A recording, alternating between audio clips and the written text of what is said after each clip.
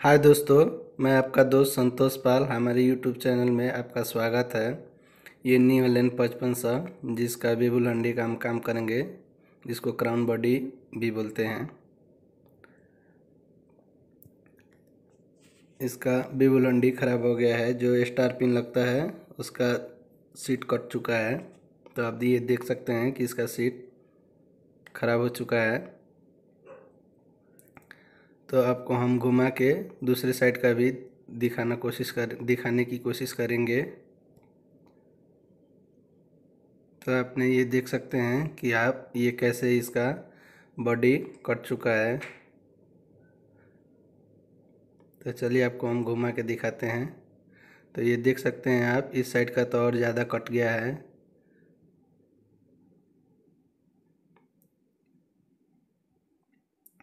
तो हमने आपको दिखाया कि बॉडी ये कैसे कटा हुआ है। तो चलिए इसको अब हम खोल लेते हैं और इसका लॉक भी टूट गया है, जो पिन को लॉक करके रखता है।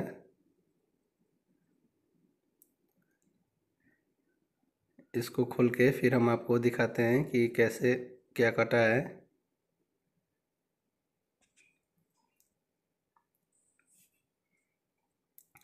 तो ये एक्सल हाउजिंग को हम खोल लेंगे, दोनों तरफ़ का। तो ये एक्सल खोलने का वीडियो आपको हम नहीं दिखाएँगे। अगर आप ये एक्सल हाउजिंग खोलने का वीडियो देखना चाहते हैं तो हमारे चैनल पे पहले से ही न्यू हॉलैंड का ब्रेक फिटिंग का वीडियो है, वो वीडियो जाके देख सकते हैं। तो हमने दोनों तरफ़ का नट ढीला कर लिया है। अब एक एक नट मत सिर्फ़ बाकी है। अब इसको हम नीचे उतार लेते हैं, फिर आपको दिखाते हैं। तो हमने एक्सल हाउजिंग को नीचे उतार लिया है।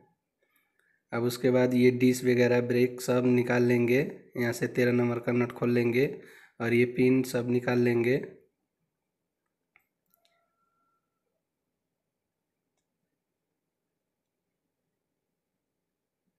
ये तेरह नंबर का नट यहाँ से सबसे पहले ये नट खोल लेंगे।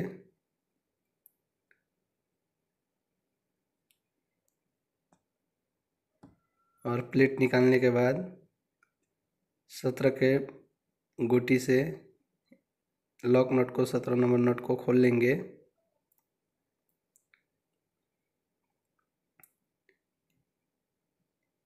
अब इसके बाद डिस हमारा निकल जाएगा।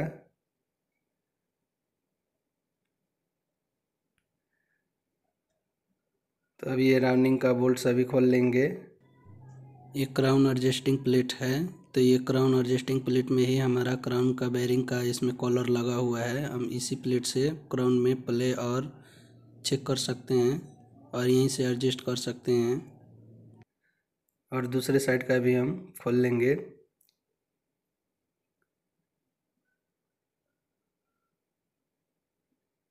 तो हमारा सभी खुल चुका है। अब चलिए इसको अब हम प्लेट को निकाल लेंगे। प्लेट को निकाल लेंगे तो हमारा बेबल हंडी निकल जाएगा।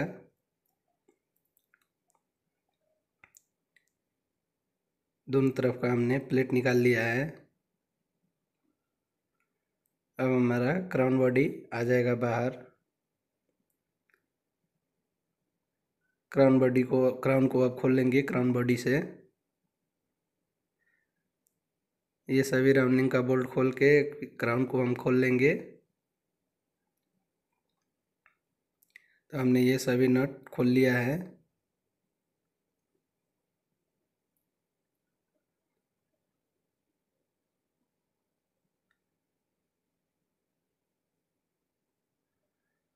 ये सभी नट खोलने के बाद हमारा ये क्राउन निकल जाएगा बाहर। ये हमारा क्राउन निकल गया। अब ऊपर वाला प्लेट को हम निकाल लेंगे। तो ये हमारा ऊपर वाला प्लेट भी आ गया है अभी। और इसमें एक सिम लगता है।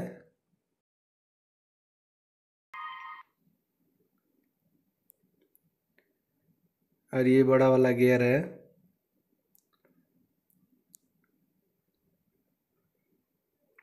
तो बड़ा वाला गियर हमारा ठीक है, उसके बाद ये पिन छोटा वाला निकाल लेंगे।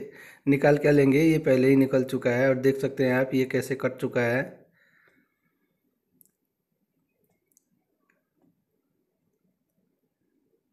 सिर्फ़ नट के वजह से रुका हुआ था, नहीं तो गिर जाता और ये सिम्स भी कट गया है। ये पॉलिश पे चल, चलता है। ये पॉलिश इसका सब ख़राब हो गया है। और ये अंदर से देख सकते हैं स्टार गियर कैसे कटा हुआ है। ये भी, यहाँ पे भी पॉलिश पे ये चलता है।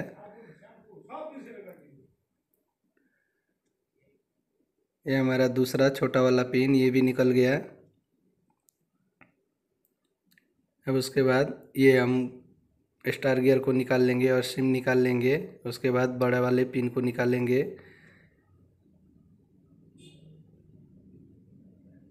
ये भी अंदर से देख सकते हैं आप कैसे कटा हुआ है।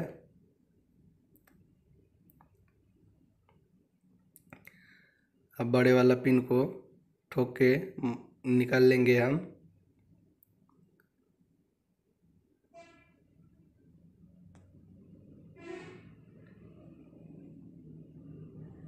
तो हमारा बड़ा वाला पिन भी निकल चुका है। आप ऐसे ही ट्रैक्टर रिपेयरिंग के वीडियो देखना चाहते हैं तो हमारे चैनल को सब्सक्राइब कर लें क्योंकि हम ऐसे ही ट्रैक्टर रिपेयरिंग के वीडियो बनाते रहते हैं। और बेल आइकन को भी ऑल पे सेलेक्ट कर लें कि जब भी हम वीडियो बनाएँ तो आप लोगों के पास सबसे पहले पहुँचे। तो हमारा बड़ा वाला पिन निकल गया और ये स्टार गियर चारों हमने निकाल लिया और उसका सिम्स भी निकाल लिया हमने।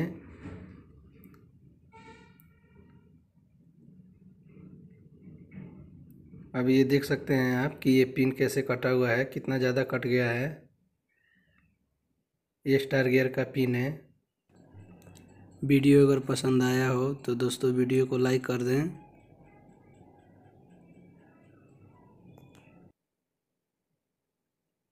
अब आपको हम बॉडी दिखाने की कोशिश करेंगे कि बॉडी कैसे कटा हुआ है। ये देख सकते हैं अंदर से भी, जहाँ पे हमारा स्टार गियर चलता है, वो भी कट चुका है।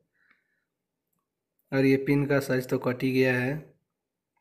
तो दोस्तों ये हमारे बन भी जाता है, लेकिन इसको हम नया ही चेंज करेंगे, हम इसको बनवाएँगे नहीं, इसको नया ही चेंज करेंगे। तो चलिए सबसे पहले इसका बेरिंग निकाल लेते हैं हम, और उसके बाद हमारा जो इंटरलॉक का लगता है कॉलर वो कॉलर निकल जाएगा। इसी में जो इंटरलॉक का गियर जो है, लगता है तो ये हमारा बेरिंग निकल चुका है।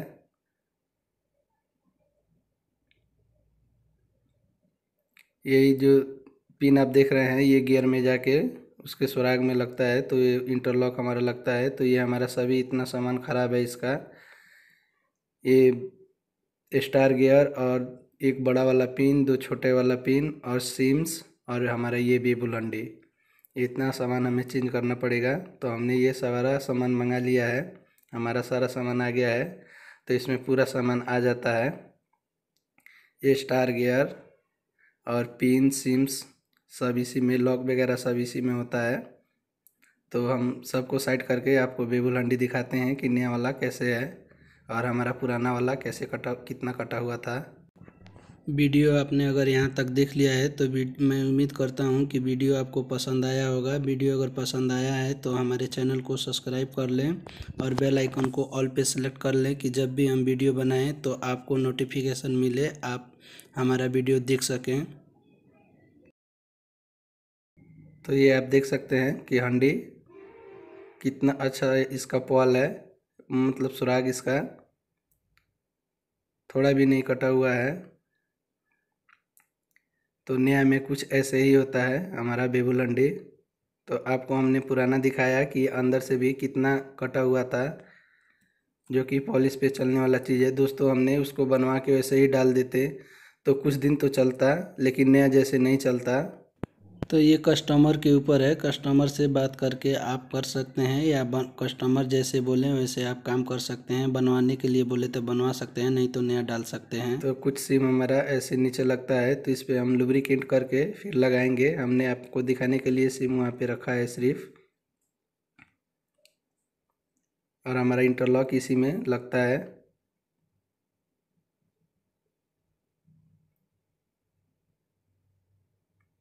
तो चलिए इसमें ऑल लगा लेते हैं हम, ऑल लगा के फिर आपको हम फिटिंग का वीडियो दिखाते हैं। तो दोस्तों हम कोशिश में रहते हैं कि हम काम अच्छा ही करें तो ओरिजिनली स्पेयर पार्ट यूज़ करें। ओरिजिनल स्पेयर पार्ट यूज़ करने से हमें रिज़ल्ट अच्छा मिलता है और लॉन्ग टाइम तक चलता है। बाकी तो पैसा खर्चा करना तो कस्टमर के ऊपर है। तो हमने एक गियर फिट कर लिया है। अब उसके बाद स्टार गियर का वाशर में हम ऑयल लगा लेंगे और उसके बाद स्टार गियर को रख लेंगे।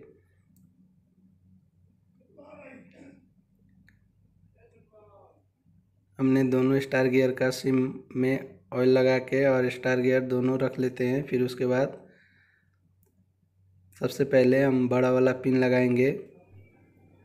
तो ये पिन में भी, बड़े वाले पिन में भी हम अच्छे से ऑयल लगा लेंगे कि हमारा पिन अच्छे से बैठ जाए।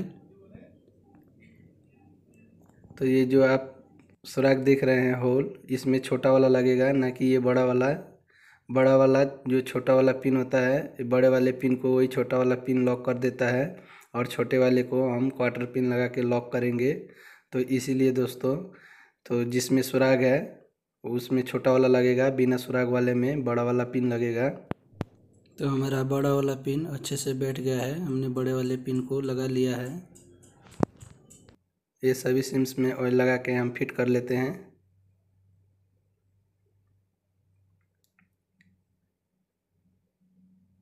ये दोनों हमने स्टार गियर डाल लिया और उसके बाद ये पिन डालेंगे हम।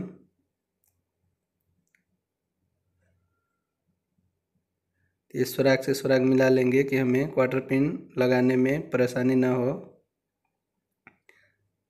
और उसके बाद ये भी हम दूसरे साइड का भी ये उसका सुराग मिला लेंगे।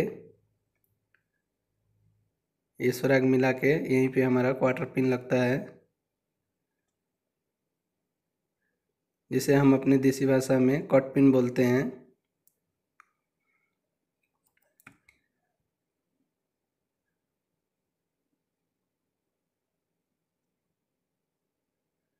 तो हमारा ये स्टार गियर चारों कंप्लीट फिटिंग हो चुका है। अब इसके बाद हम लॉक लगाएँगे इसमें कट पिन।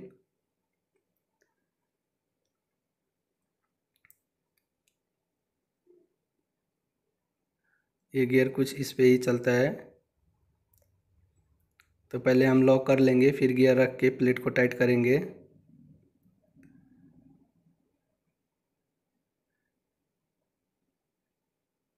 ये कट पिन यहाँ पे हम ठोक लेंगे, पिन को लॉक कर लेंगे।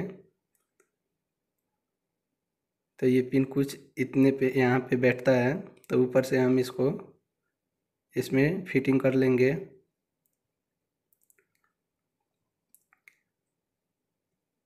तो ऊपर से हम फिटिंग कर लेते हैं इसको।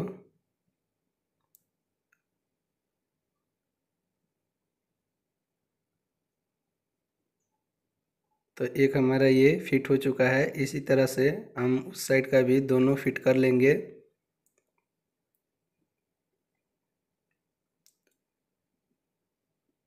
ये हमारा दोनों साइड हमारा कट पिन लग चुका है।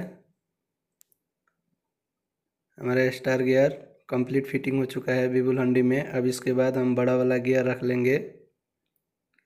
सिम्स में ऑयल लगा के।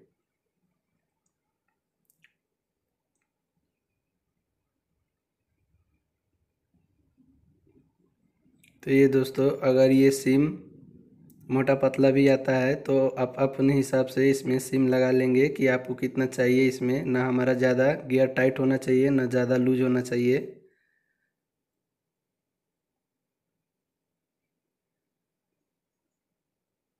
और सुराग से सुराग, होल से होल मिला के प्लेट को हम बैठा लेंगे। तो हमारा प्लेट बैठ चुका है।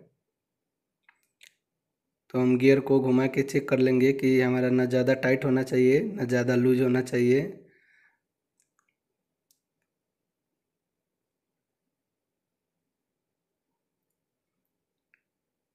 अब क्राउन को फिट कर लेंगे बॉडी में। और फिट करने के बाद ये नट्स अभी हम टाइट कर लेंगे इसका। और भी ट्रैक्टर रिपेयरिंग के वीडियो अगर आप देखना चाहते हैं तो हमारे चैनल को सब्सक्राइब कर लीजिए।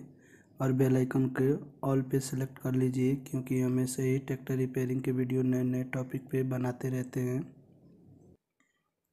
सभी नट टाइट करने के बाद हम इसको फिर डिफरेंशियल लॉजिंग में इसको फिटिंग करेंगे।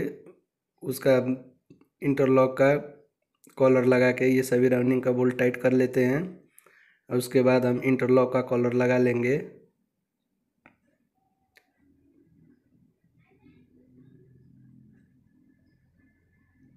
ये हमारा नीचे जब जाएगा तो हमारा इंटरलॉक लग जाएगा।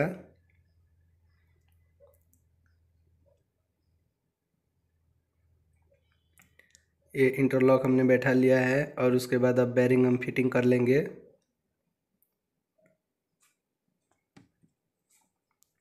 तो हमारा बैरिंग फिटिंग हो चुका है। अब डिफरेंशियल लॉजिंग में हम क्राउन पिनियन को फिटिंग कर लेंगे क्राउन बॉडी को।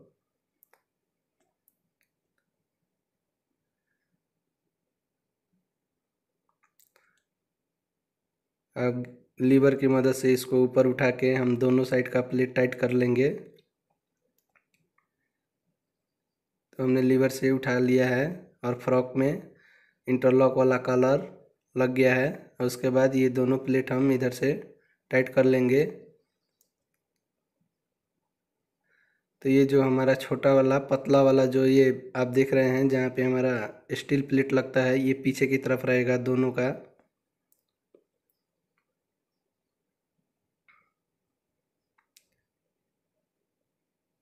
तो हमारा ये प्लेट बैठ चुका है, अब इसका नट टाइट कर लेंगे।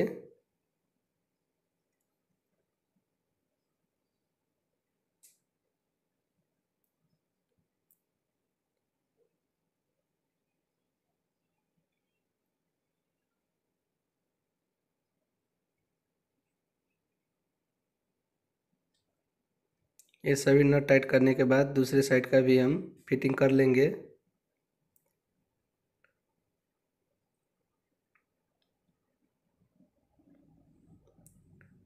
तो ये पतला वाला आप भाग देख रहे हैं जहाँ पे हमारा स्टील प्लेट लगता है, ये भी इसका पीछे की तरफ़ रहेगा। दोस्तों, हमने इस वीडियो में कैसे क्राउन बॉडी जो बेबुल हंडी हम उसको बोलते हैं, कैसे फिट करते हैं, इस वीडियो में हमने आपको दिखाया तो हमारा ये कंप्लीट फिटिंग हो चुका है। तो आप ये देख सकते हैं कि ये सब कंप्लीट फिटिंग हमने कर लिया है। तो इसका पले अगर हो तो आप अपने हिसाब से चेक करते हैं। दोनों प्लेट से एडजस्टिंग कर सकते हैं। तो अब हमारा कंप्लीट फिटिंग हो चुका है। अब हम इसका ब्रेक हाउजिंग चढ़ा लेंगे। अगर ब्रेक हाउजिंग का वीडियो अगर आप देखना चाहते हैं तो हमारे चैनल पे पहले से ही है। जाके ब्रेक फिटिंग न्यू हॉलैंड का देख सकते हैं। तो ये ब्रेक फिटिंग का वीडियो हम आपको नहीं दिखाएँगे। अब डायरेक्ट इसको गाड़ी को हम तैयार करके आप लोगों को दिखाएँगे। तो गाड़ी अब हमारा तैयार हो चुका है। तो हमने अच्छे से सब कंप्लीट कर लिया है। तो फिर मिलते हैं दोस्तों किसी नए टॉपिक पे। तब तक के लिए धन्यवाद। अगर आपने सब्सक्राइब नहीं किया है तो सब्सक्राइब ज़रूर कर लें।